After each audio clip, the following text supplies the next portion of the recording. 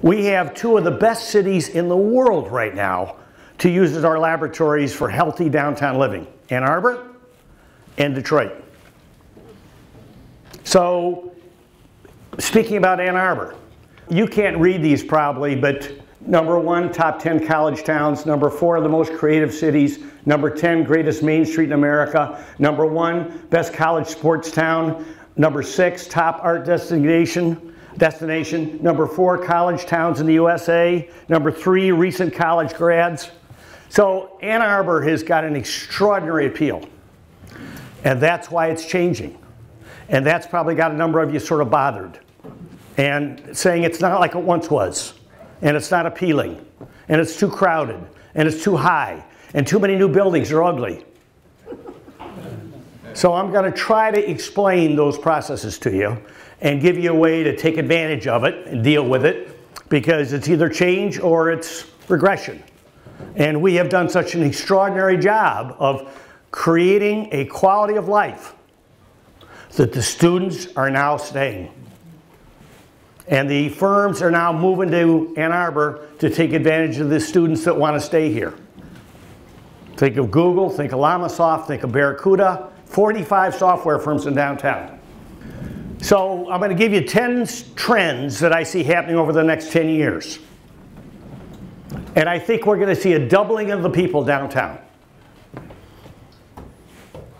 I think we're going to see doubling of values. We already have in the last eight years.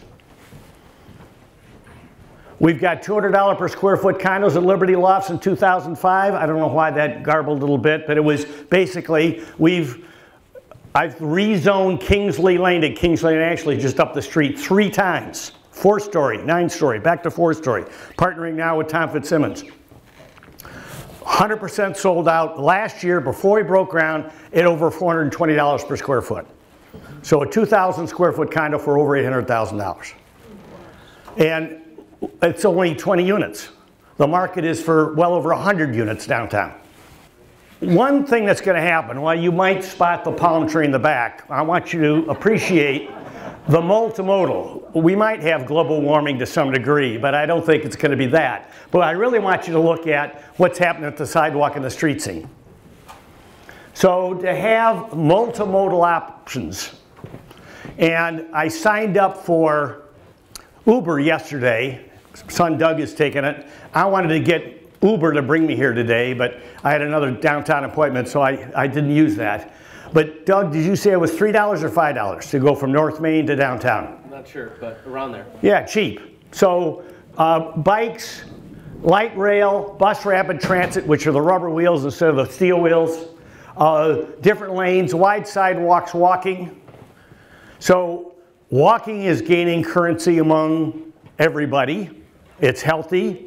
It's amazingly uh, easy to get around town. Uh, biking is getting a much, much broader audience. Uh, we're talking, as we'll see in a minute, several light rail and bus rapid transit options. Uh, and complete streets, where the streets are like Main Street. You're going to see a major change to William over the years that's similar to what's happening to Liberty. That same thing could happen to Washington. We're beginning to convert Main Street from a monumental corridor, excuse me, Huron Street from a monumental corridor into something that's more pedestrian. I remember talking to the architects and contractors with Larry, and he said, uh, this is six months ago, they don't want to hear anything more about option, about transit options. We've been talking about those too long. Well, folks, it's finally really beginning to get serious about the various transit options that are going to impact Ann Arbor.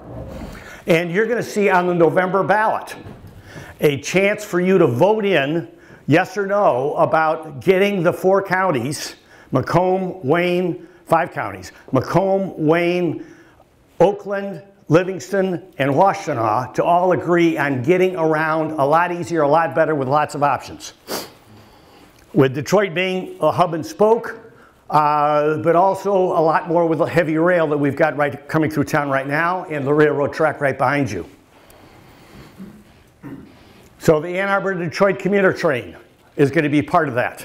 And I just heard this morning uh, from my good friend in Washington, Chris Leinberger, who said that the transportation bill that was passed two months ago has some windfall options in it for transit that they never thought would be passed, but they were.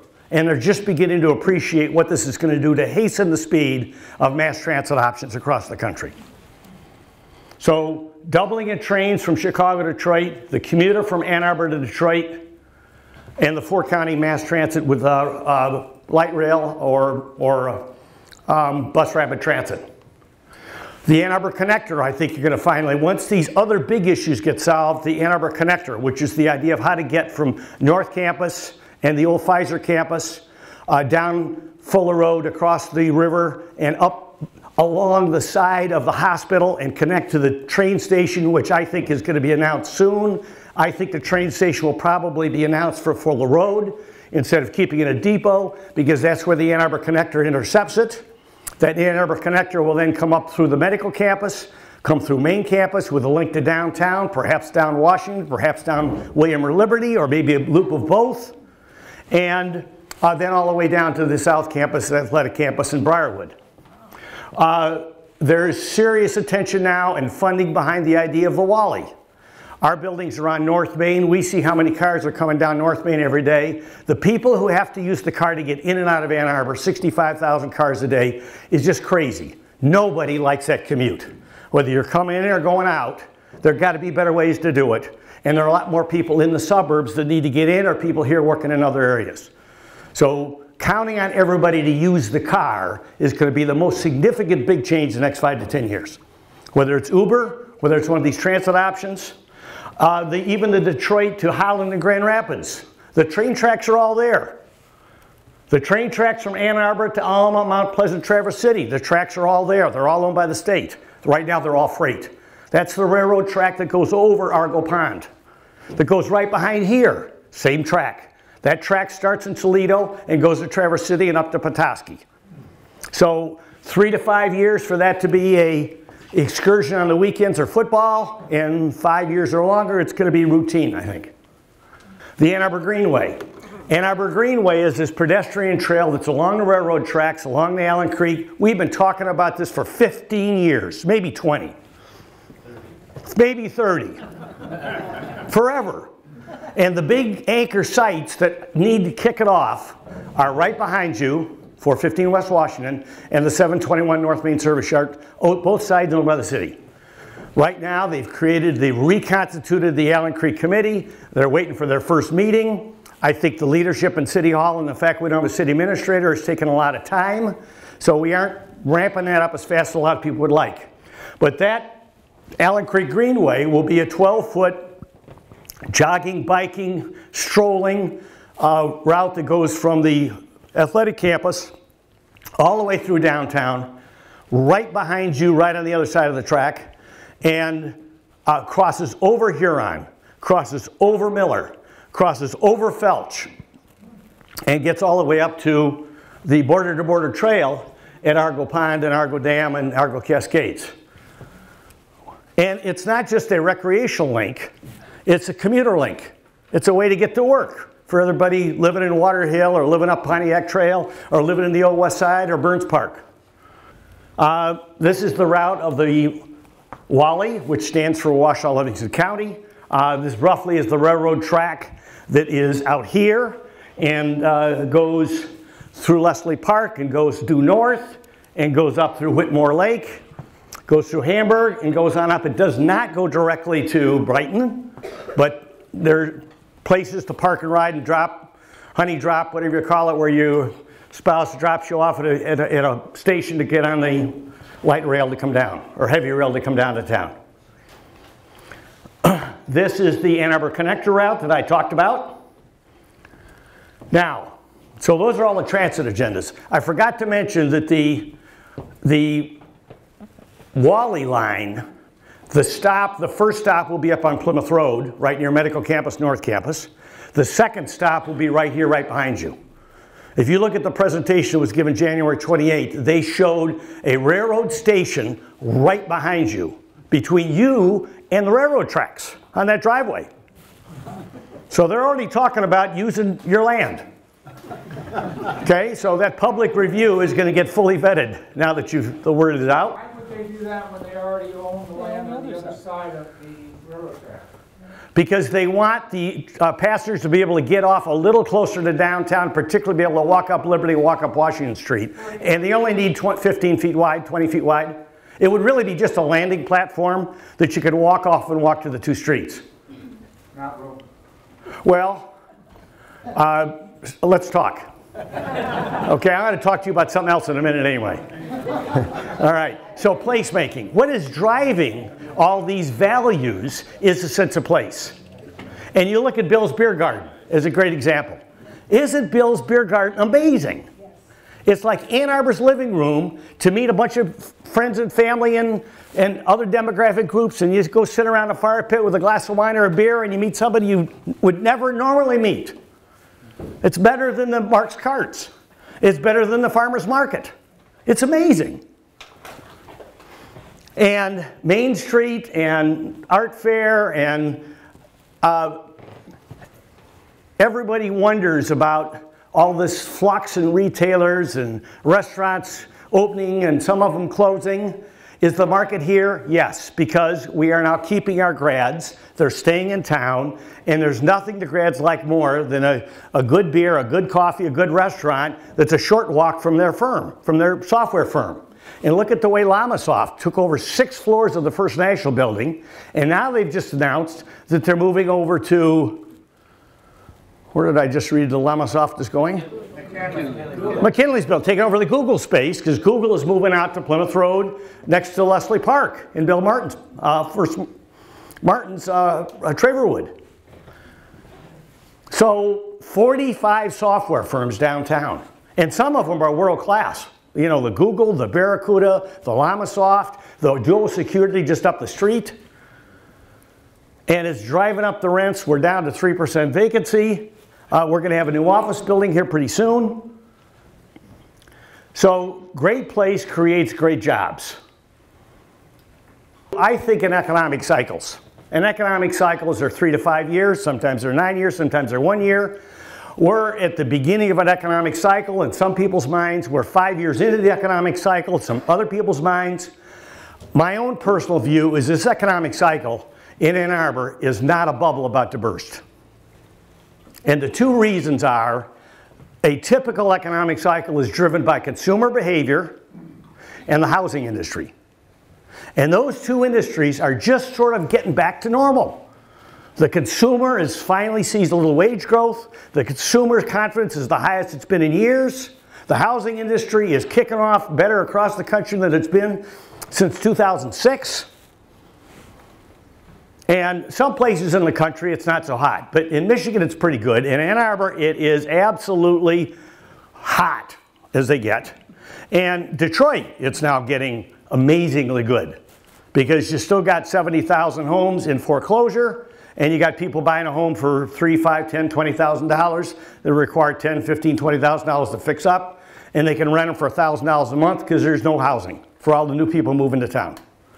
So what you're going to see in Ann Arbor are more pressures for ADUs, which are accessory dwelling units. The granny flat idea that was talked about eight years ago and the mayor didn't even let it get to council because he said this is dead on arrival. But we need to think about it. Uh, this is an example of just putting a granny flat over a garage. A lot of people are terrified that it's going to be the drunk students are all moving into their neighborhoods. There are other people that need this housing. It could be a true granny. Uh, grocery downtown is going to happen. TOD, transit-oriented development is going to happen. Mixed-use development is going to happen. Uh, all the parking lots in downtown are going to get redeveloped.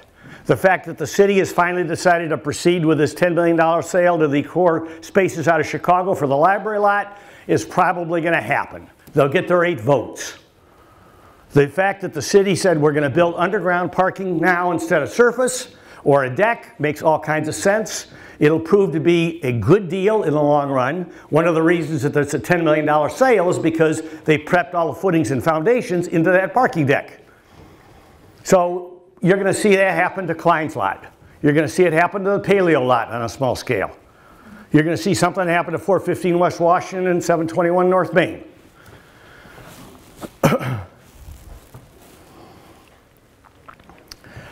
this is probably the biggest reason that Ann Arbor is changing.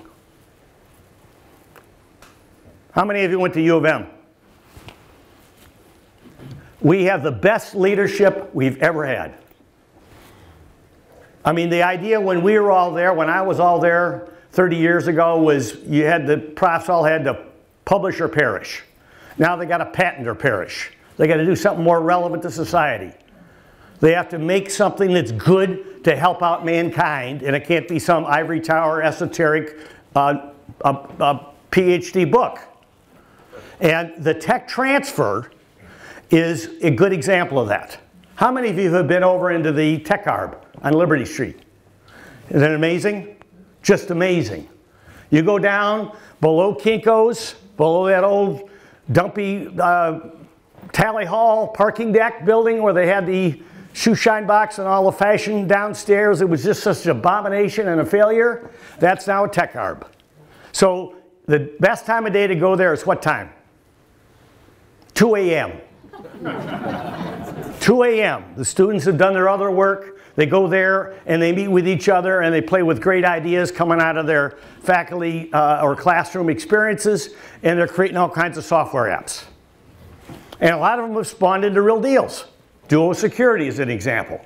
So the tech transfer is huge. The next big, huge thing about to happen is MOOC. What's MOOC stand for? Anybody know what MOOC stands for? Or Luke? L-O-O-C? MOOC is Massive Open Online Classroom. Luke is Local Open Online Classroom. So in my classes, two years ago, I flipped my classroom. I don't lecture anymore. I've got a textbook that's online for 10 bucks. I have 15 chapters. I assign the book to the students before they ever come to the first class. I give them an exam on the textbook one week, two weeks into the class, and I give them 15 video lectures. And they have to, they're all online. C-Tools or Canvas now. And you all have to read the book, listen to my lectures, see my PowerPoints, and be tested on that textbook. So the entire classroom is about students teaching students, case studies, uh, presentations by the students, discussion groups, I've got a couple of students just out of class that are now my TAs who work with them closely out of class. I still have my office hours over at Pizza House after every class, but uh, I didn't take that away. And uh, what all the professors are now beginning to do is flip their classroom, take everything that's lecture, put it online, give it to them free, get it out of the class, turn the class in discussion because this is what makes the University of Michigan campus experience, or any great campus, experience worthwhile. But routine lectures are not for the classroom. In fact, I find that my lectures are the best ever when I was in a studio and I really focused on it. And I, I redid them after the first year because the first generation were just sort of horrible. But they got a lot better. The students told me so. So they got a lot better. And they're real short each lecture by me is maybe 10 minutes for chapter. So it's real pointed, backs it up with a PowerPoint. And now what we're doing, and this is a university-wide agenda, is lifelong learning with the faculty, with the alumni.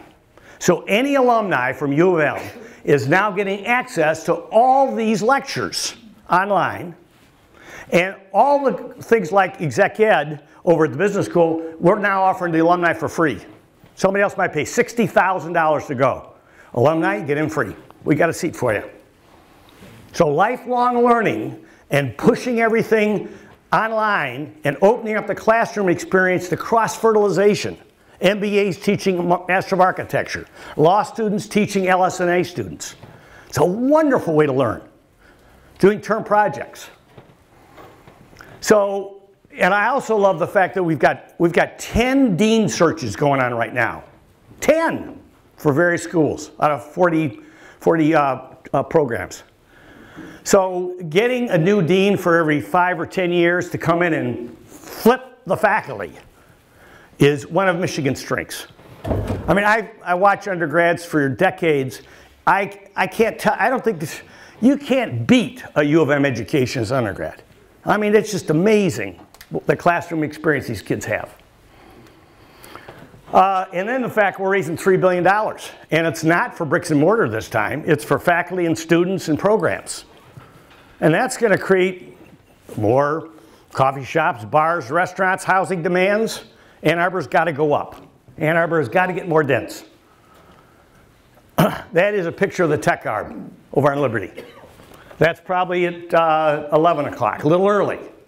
you can walk down there, it's a great big glass wall. So you go into Kinko's, turn right, go down the stairs, walk down the hall, and you'll see it.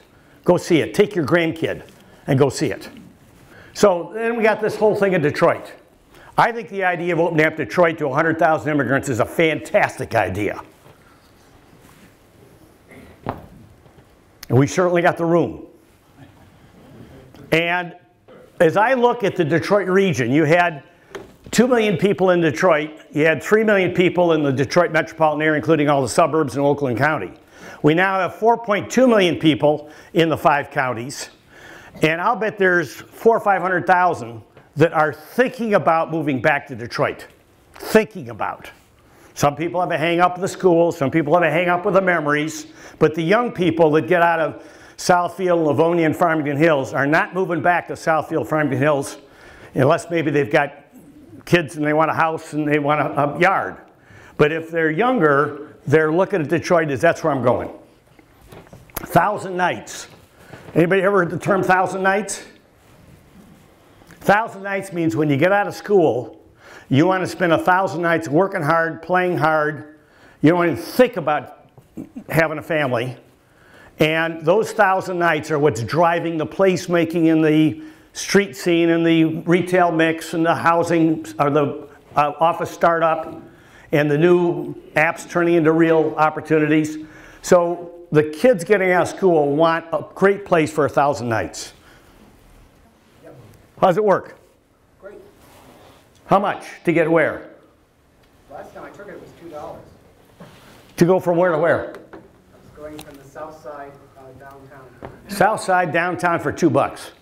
This shared economy is amazing. And getting around without a car, part of your frustration if you're mad at Ann Arbor is because maybe you just are still dependent on your car and you're wedded to it. And we're now coming up with better bike lanes, better walking options, better senior options, or just uh, parking, uh, uh, bus options, Uber, Lyft. What is Uber? Uber and Lyft. Doug, you want to explain it? Well, you were talking about the shared, It's basically like a taxi service without the uh, historical licensing uh, that went into that. So want to be a taxi driver, I can sign up for Uber, I need a car that is insured, less than five years old. Um, I'm not sure what the other uh, restrictions are, but basically I can become a driver. Uh, I get a a text message from you where you are. Uh, You've already entered your credit card data into the app on your phone. I come find you, I pick you up, I know where you're going. It's a pleasant ride. You can plug in your phone, listen to music in, in my car while we're driving there. Um, and uh, no cash is exchanged, so I'll get a check from Uber at the end of the month and you get to where you want to go. And the difference between Uber and Lyft? there's not really. No difference between Uber and Lyft. Both same thing. So you, you get students who are looking for part-time money. And they'll just say, I'm going to do Uber from 9 o'clock at night till midnight. Or do it from 11 till 2 a.m. It's a great way to not drink and drive for the riders. I mean, they go downtown, they just get an Uber car. And another part of the shared economy is this Airbnb. Has anybody used Airbnb? What'd you think of it, Deb? It's fabulous. Did you use your house or did you go stay in an Airbnb? Stayed at others. Where'd you go? Um, we went to Charlotte, we've been to Savannah, we've been to Charleston. Not only do you get, um, an idea of, of, of the house or, or where you're staying, New York, we stayed in New York as well. Um, but also then the, the people who own it, they do, um, a, a survey of us. So that if we want to rent future, um, facilities, other people who rent know what kind of renters we are. So, I mean, they, they were really nice, it was convenient, it was, um, Cheap? cheap, it was cheap. It was great. Perfect. Uh, the last six trips my wife and I have taken, we've stayed in Airbnb the entire time. I'll never stay in a hotel again in my life. It was so much fun. It was so much more local. You really get a feel for the neighborhood. You get great advice. So for you to share your house or part of your house with Airbnb is another way for the shared economy. Five minutes? Okay. So housing downtown is beginning to sell for $400 a foot. Um, I've talked about Airbnb. Your house that you live in, if it's in good condition, if it's walkable to downtown, inside the city limits, it's probably approaching $250 per square foot, not including the basement or the garage or the attic, but living space, 250 bucks a foot, it seems to be sort of the market for single family homes. The market for condos downtown is anywhere from 350 to, as I said, our brand new Kingsley, they're all custom units, so they're around $420 a foot. If they were standard, they'd be a little under uh, $400 a foot. I know you've for years thought about this, and I'm glad Dan's here because I know he's taken a leadership role in this. I think Kiwanis is sitting on a property that probably is, in most people's minds, not architectural quality to put on the National Register. Uh, there probably is a market for going up five or six stories on the site, and this building could be worth uh, something in excess of two to three million dollars, just the land, with what's going on downtown. For you to take all your functions, uh, the resale shop, and go to the city, make them an offer to take the back corner, which is the High Bay area, uh, it's the back corner of 415 West Washington. They'll give it to you as is. I spent an hour yesterday going through Mark Reuter's analysis and Bill Kinley's analysis of that building. There's a lot of salvage value to that. And you could have a lot more space than you have now to put the resale shop and seed the redevelopment of that whole area with some combination of residential, retail, and office in the front, some uh, park, uh, get the Allen Creek Greenway going, uh, because that's an anchor site that I think is going to be a catalyst for the whole Allen Creek Greenway to happen. So you could get a lot of great goodwill by seeding a portion and owning it as a condominium. So you take your two to three million from this, you spend half a million bucks fixing up uh, that back corner for your needs. You rebuild the first floor as neighborhood retail. You rebuild the second floor for what you have here right now, and you put four floors of condos on top for your members. And all of you that are living in houses out in town, sell your big house to one of your junior Kiwanis members that's got a family at this 250 a foot. You sell your house for a half a million, you buy your condo for three to 400,000, you got some money left in your pocket. The Kiwanis takes the two to three million dollars for the sale of this, puts some money into the 415 West Washington, uh, takes back the first and second floor to the degree that they think is, makes sense, and you've got a million dollars plus to use for whatever you want. And maybe the first buyers from Kiwanis that want to buy the units get a discount for doing the pre-sale because you got to pre-sell the 40 condos on top, you got to get 20 sales up front. So if 20 of you want to own a condo down here and improve your lifestyle, number one, you're going to walk, start walking everywhere. You're not going to be so auto dependent. Number two, your grandkids are going to think you're real cool. Number three, you're going to live longer because of the lifestyle. And number four, you're going to be part of, I think, just everybody in Kiwanis International to say, You did what? But I think the numbers, and uh, I was showing those to Doug.